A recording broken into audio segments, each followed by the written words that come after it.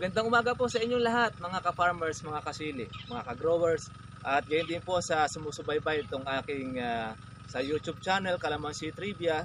Ah, dito po tayo ngayon muli sa aking ah, sili farm.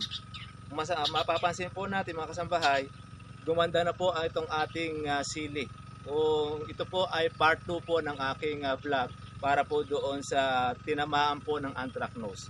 Alam niyo po mga kasambahay, meron po akong good news sa inyo. Sapagkat ang good news ko po sa inyo, pipitas po ako ngayon ng matinong bunga ng ating sili. Ito pala, ang ating ah, sili mga kasambahay, pagka pala huminto po yung pag-uulan, nagsasawa rin po pala ang anthracnose, hindi rin po siya sumasalakay. Ito ngayon, maganda po ngayon mga kasambahay po ang bunga. Pati na rin po ng hinog. Wala na po siyang ah, gaanong sira. Kaya isa parang paraan, pagka pala tinamaan ng New Sili, ng anthracnose, huwag nyo lang po siyang patayin. Malay po ninyo, gaya po niya, medyo mataas pa rin po ngayon ng sili, makakatikim din po tayo ng medyo mataas na presyo ng ah, ating sili dahil hindi ko po pinatay ang aking ah, sili mga kasambahay. Kaya doon po sa ating mga ka-farmers, sa mga kasili po natin, wag po tayo mawawalan ng pag-asa. Gaya po nito, diretso ang buhay po ng ating sili. Mag-iisang taon na po ito mga kasambahay sa April. Yan po. At ipakikita ko po sa inyo yung resulta nitong uh, sili kapag ka po umaaraw at wala na pong pag-uulan ay mga buo na ang kanyang bunga. Ayan na po ang resulta mga kasama ka-farmers po ng ating uh, sili. Wala po siyang sira. Marami na rin pong hinog. Yung pong ating mga berde wala rin pong tama. Gayun din naman po ang bulaklak. Hindi po kagaya po ng dati nang dito po ay tinamaan ng anthracnose. Eh wala, wala ka pong makikitang matino sa bunga ng ating sili. Kaya naman, yung ating pong mga ka-sili farmers, tinabangan na po na magtanim nito. Kasi sa tagulan, mga ka-farmers ay bibihira po ang nakapagpapalusot ng ating sili. Kaya sila po, yung mga nakapagpapalusot ng sili sa tagulan, jumajackpot po sila. Dahil uh, meron po silang mga gamot na kanilang mga natuklasan at mm, naagapan po nila yung kanila pong sili na tamaan po ng uh, anthracnose. Ngayon sa susunod po na taon ay po pwede po natin gamitin po yung uh, mga advice po ng ating mga technician na bago po itanim ihanda na kagad po yung lupa and then pagka po ito ay natanim at isang buwan i-spray na rin po ito ng pang uh, fungicide at uh, calcium para po matibay ang proteksyon ng ating pong sili ng kasambahay. Ayan na po ang resulta mga kasambahay po ng ating sili. Nang hindi ko po siya po ay binunot at pinatay, nakita po ninyo, marami na po ngayon siyang pula. Marami na rin pong hinog. At makikita naman po natin mga kasambahay po ang ating sili ay wala pong sira. Kung kasi hindi po nag-uulang ngayon pong tagaraw ay buo po ang bunga ng ating pong mga sili. Kaya doon po sa ating pong mga kasili na pinatay na po ang kanila pong uh, tanim na sili dahil po sa anthracnose. Mas maganda po kung kayo naman po ay gusto natin ng ganito pong uh, negosyo. Marami rin po kasing jackpot sa sili mga ka-farmers. Opo, marami na rin pong yumaman po sa ating uh, kasili dahil po sa pag-aalaga. Eh, doon po sa atin sa mga nagtanim po ng sili na tinamaan ng anthracnose, wag po kayo mawawalan po ng pag-asa.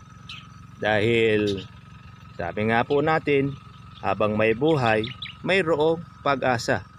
Kung kasi ito pong aking sili ay hindi ko po siya napatay, ngayon pong araw na ito ay aking pong uh, pipitasin ito upang uh, dalin doon sa pinakabagsakan po sa Nueva Ecija sa Sangitan Market. Mamaya pupunta po tayo dyan pagkatapos po ng pagpitas ko ng aking sili. Ayan, maganda na po ang ating pong sili mga sambahay. Ati pong mga ka-farmers. Wala na po siyang sira. Kaya good news. Doon po sa mga hindi po nagpatay ng sili, may pag-asa pong gumanda ang bunga at mawala po ang anthracnose.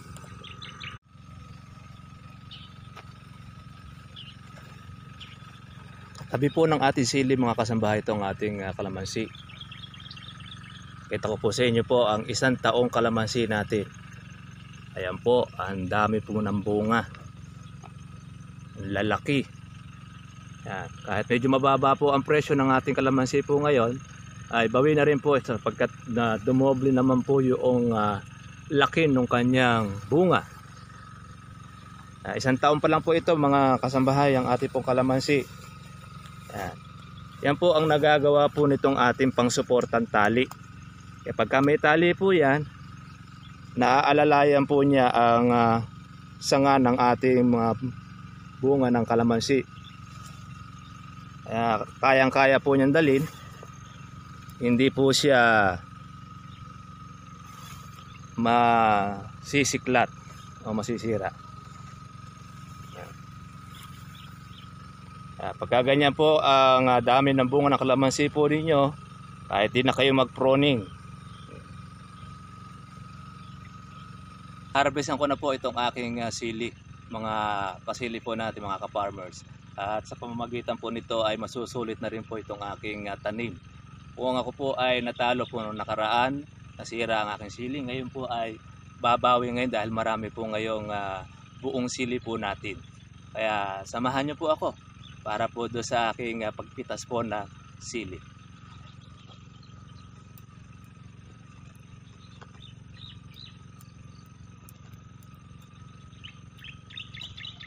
Madali lang po pumitas po ng sili, mga sili po natin.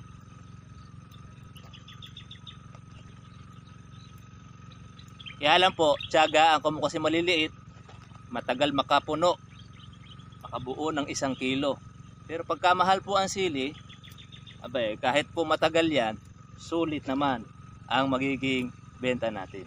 Kaya makita po ninyo, maliit pa po yung kalamansi natin, pwede nyo taniman po ng sili. Ah, mga kasili, at pa mga ka-growers ay tatapos ko lang po mamitas po ng ah, sili sa aking ah, munting silihan. at ako po, eto na po ang kilo na aking ah, napitas mula po kaninang 8.30. Natapos po ako ng alas 12 po ng umaga. Yan. Naka 10 kilo na po ako. Ngayon ititinda ko na po ito sa Kabanatuan, sa Sangitan. Ang sentro ng pamilihan ng Nueva Ecija. Mga kasambay po ang ating ka-growers sa Sangitan Public Market at pati ba po mga gulay po ang ating po makikita rito. Pinakabagsakan po ang Nueva Ecija ng lahat po ng gulay na nagmumula po mga kasambahay sa sa probinsya po ng ah, Tarlac at mga kalapit lalawigan ay dito po dinadala po sa Sangitan Public Market ang kanila pong ah, gulay. Sa sili naman po ate, ah, magkano po lakad po ngayon? Ako kahapon mataas pa. Ngayon po, 1,815. Mm, 150 ang per kilo. Yung magaganda po niya. Ah, yung sa atin Medyo eh, medyo maliliit. Ah, makuha na kasi yan eh, ma- matanda na rin puno. Mm. Yan po yung nakaligtas po sa anthracnose. Ah, namin, eh, sayang naman kung kaysa papatayin ko, kahit magka, kahit papaano. eh, Tapos magkakaroon. kanina kumaga, hindi ko lang Opo. Kumitas ko pa kasi ako kaya medyo nakuha pa.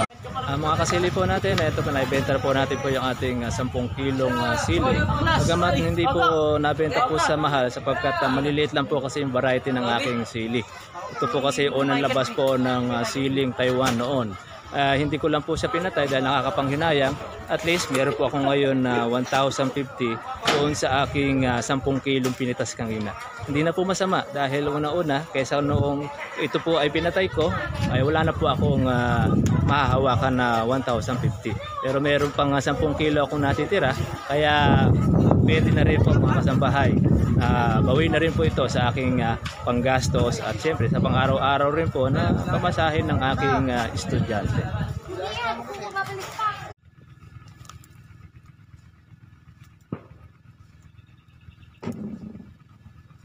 So mga ka-farmers, mga kasili, ka-growers po natin ay ito muna po ang ating ah, sili trivia para po doon sa ating mga magsisili na kahit na po yun po ay tinamaan ng anthracnose, hayaan nyo lang at yan naman po ay ah, lilipas. Gaya po niyan, lumipas po ngayon ng ah, anthracnose sa aking sili dahil nag-aaraw na. Kaya ito naman po at humaharvest na po ako ng aking ah, sili. Sana po doon po sa ating mga magsisili, wag po kayong magsasawa. Tanim lang kayo ng tanim, alaga ng alaga. At mm, meron pong ah, sabi nga, may, habang may buhay ay mayroong ah, pag-asa. Kaya sa oras na ito, wag po natin kalimutan mag-subscribe sa akin pong ah, ah, YouTube channel, ang Kalamansi Trivia, pati na rin po sa Sili, mga ating mga kasili at sa Facebook ah, page ah, para po lagi kayong updated sa aking bagong video na ilalabas. At makakatulong po ito lalo na po dun sa ating mga baguhan o bagito sa ganitong ah, paraan ng pag-aalaga ng kalamansi at paraan din po ng ah, pagsisili mga ka-farmers, ka-growers. Kaya hanggang dyan po, ako po si Kuya Berhel Bunag, nagsasabi, mag-aral at magsipag na mabuti upang umani ng marami. Magandang araw at salamat po sa Diyos.